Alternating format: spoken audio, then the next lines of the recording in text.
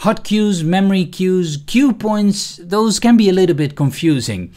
A lot of DJ software doesn't make a distinction between hot cues and cue points, but Rekordbox does. So what's the difference? Let's first start with a cue point. A cue point is a starting point in a track. I can set a cue point by using the cue button. For example, I'm going to a certain point in a track, for example, over here, and now I want to set a cue point at this point in the track. When I click the cue button, you'll notice that it sets a cue point. I can see this by looking at the orange triangle over here. If you looked closely, then you saw that the beat grid shifted a little bit. Why is that? That's because of the quantize function.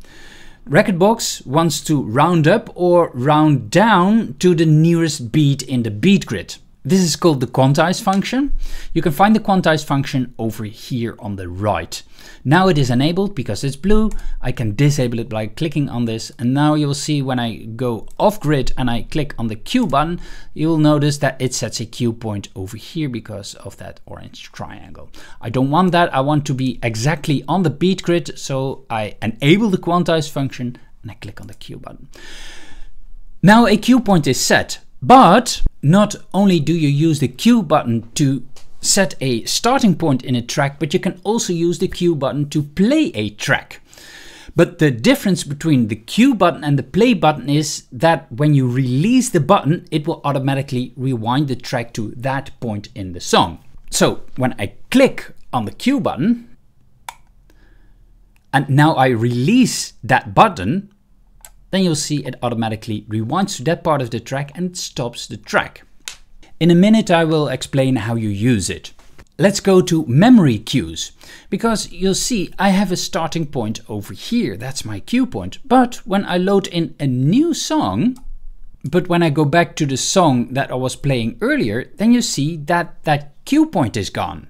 That's annoying. So I want a way to store that cue point. And that is a memory cue, like the name maybe suggests. I can store up to 10 starting points, 10 memory cues in memory. And when you export a song to a USB drive or you use the performance mode in Rekordbox, then those starting points are remembered. So you can use those starting points. Let's set a starting point. Let's set a memory cue. For example, I'm going to this part of the track. I'm using the cue button to set a cue point. Now I'm going to click the memory button in the middle of the screen. And when I click on that, you'll see that at the top of my beat grid, there is a white triangle, triangle now. On the bottom is the orange triangle that indicates the cue button, uh, the, the cue, and the white triangle on top, that is a memory cue. On the right side over here, you see also the timestamp of the memory cue. If I want to remove that, I can click on the X icon next to it. But I want to store this memory cue, so I click on memory. I can set another memory cue point, for example, over here. I click on cue again and I click on memory.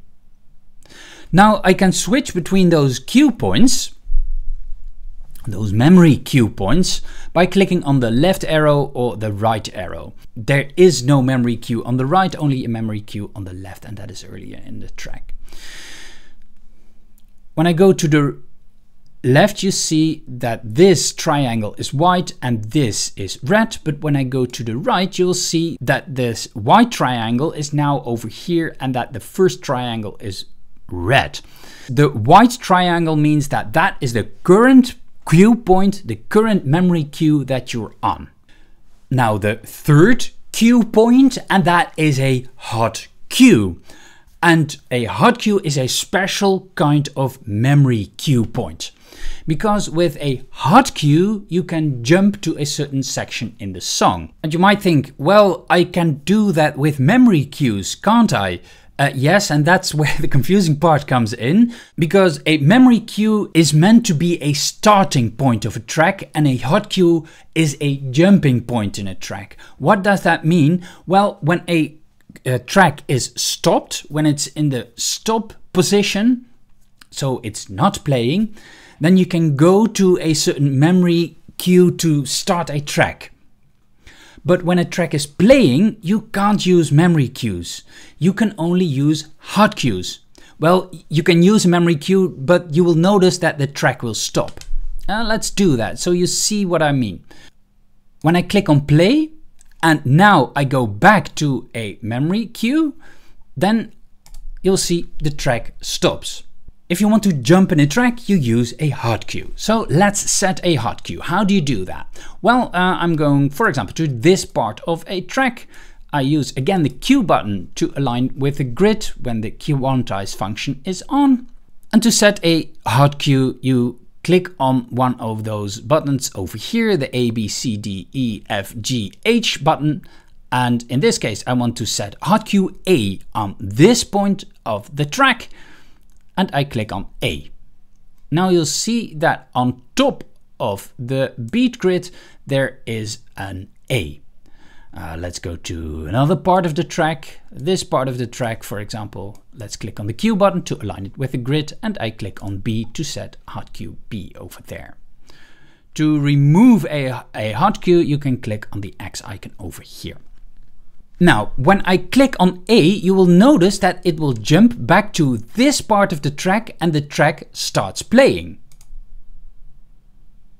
When I click on B, you'll notice that it jumped to the B part of the track and it immediately starts playing. This is a difference between the memory cue and a hot cue because when I click on memory, the previous memory, you'll notice it will stop the track. So a hot cue is for jumping live in a track. How that is useful, I will come back to that in a minute. When you load a track on a CDJ, you will see that it takes a while for the hot cues to load. And this is because the CDJ needs to jump to that part in the song. There can't be a delay. While for memory cues, it doesn't matter if, if the delay is a couple of milliseconds a hot cue needs to be immediately accessible because otherwise you're out of the tempo of a track. So it needs to cache that part of the track from that point on. So that's why hot, cues takes a while to load because it needs to cache all those hot cues of a track. Notice that you can store only 8 hot cues in memory and you can store 10 memory cues in memory. Now, how do you use each of those cues? Well, you can use the cue, first of all, to set a hot cue or a memory cue, but it also aligns you to the grid while, a, um, while the play button doesn't do that. You can use the cue to preview a track, but don't shift the cursor in the track. So don't shift the playhead in the track. If I'm playing a track, and I want to hear in my headphones the second track that I that is coming up so I can hear if they are compatible with each other. I can uh, use the cue button in combination with my headphones to hear, oh, uh, how compatible are those tracks? Another useful way to use the cue button is to tap in the tempo of the other track.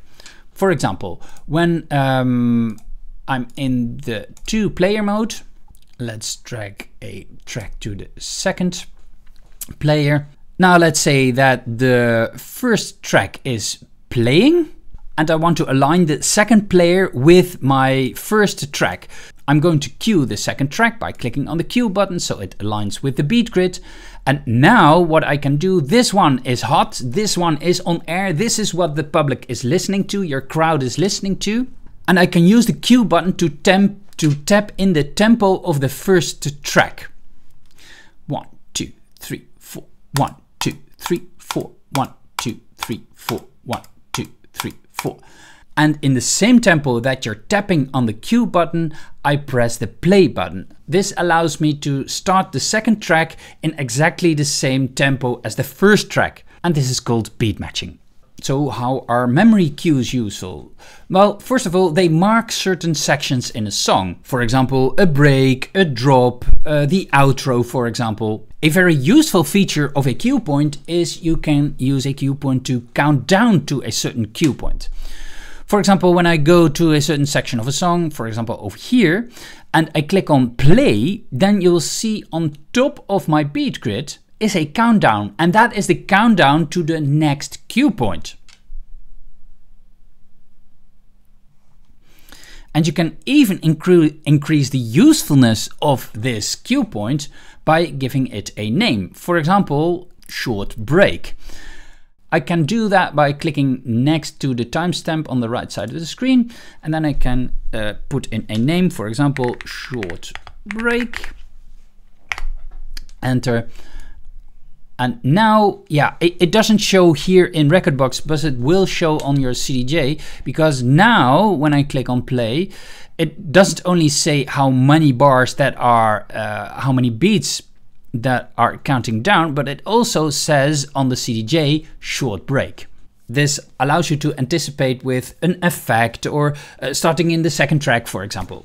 The second use is of course multiple starting points. I, I don't have to start a track always at the same time.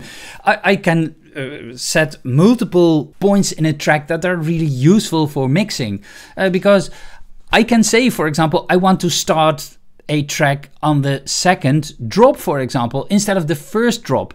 Certain gigs it might be useful to start at the first drop, but other gigs it might be useful to start at the second drop. There's a super useful trick you can use with memory cues as well. Uh, let's go to the last part of the track and let's go to over here because this is the outro. What I can do is set an 8 beat loop over here because this allows me to have more time to mix out this track and mix in another track. I can automatically trigger this loop by clicking on memory while this loop is active. And then you see that over here is a loop icon. And this loop icon is now disabled, meaning that it isn't automatically triggered, but when I click on this loop icon, you notice that it will become red. Then you see that then this loop is automatically triggered when you play the track. This gives you a little bit of peace of mind because you now know that the track won't end. So you don't have to stress as much. You have all the time to mix out this track into another track. It could be that this isn't automatically triggered, therefore you need to set another option in Rekordbox. Click on this hamburger menu over here on the right side of the screen, click on that and then you see over here active loop playback.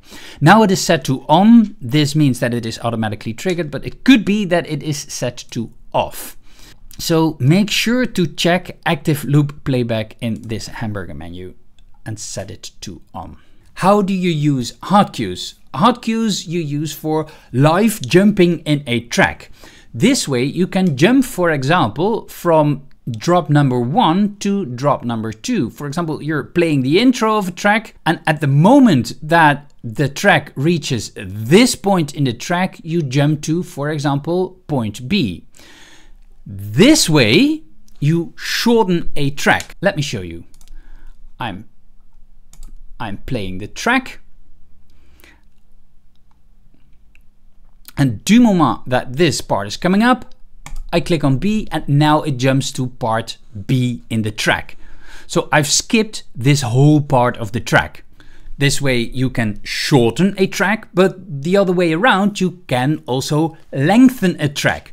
When you're over here in the track in the break and you go back in the track, therefore let's set another hot cue over here, Q, C, and when I'm over here in the break and I play the track and I click on C, doink, now I jump back into the track and I've extended the track.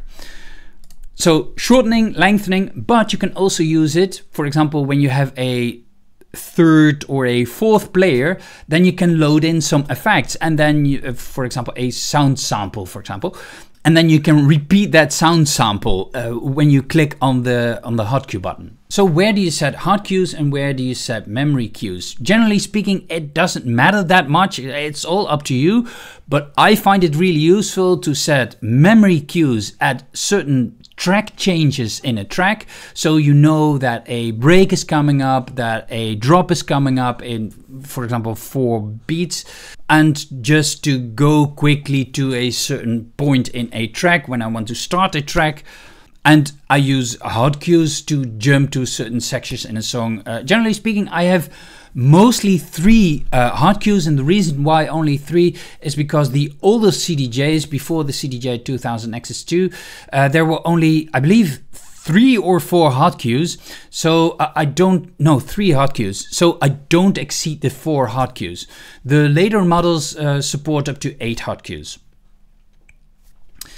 Uh, generally speaking, I set the A hot cue at uh, at the second drop. So let's remove all of them. Um, let's cue this one. So I know that A is always the drop I set a B point at a break, so the B for break. Q, so the B is break, and I use the C for the outro.